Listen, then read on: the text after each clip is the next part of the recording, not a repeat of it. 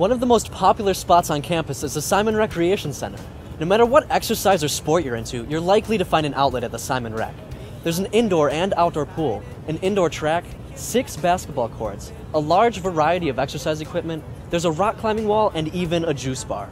Whether you want to grab a group of friends to play in an intramural league or try out for a club sport just a notch below a varsity team, Simon Rec is the place to go. They can get you in touch with the people you need to talk to so you can show your skills on the basketball court, the volleyball court, even the club ping pong team.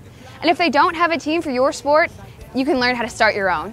And say you're not really into sports or you don't like running on the treadmill or working out on the exercise machines, you can do yoga or take a spinning class or learn how to salsa or take any of the other dozens of classes offered at the Simon Rec. To learn more information, visit simonrec.slu.edu.